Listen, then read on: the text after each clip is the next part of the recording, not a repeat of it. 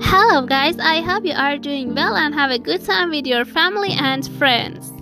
Big Hit Music has announced that they are planning Jimin's solo debut in February. Guys, Jimin surprised the armies again, this time with his solo song. The teaser of the yet to come in Busan concert was released and you can watch it on the official channel. Jimin as the global ambassador of Dior will have a new collaboration with Kim Jones and is going to surprise everyone with sportswear from the Dior summer collection.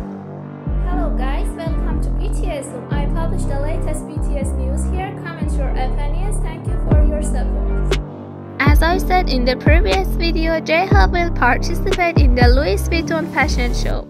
See the details of this event in this video.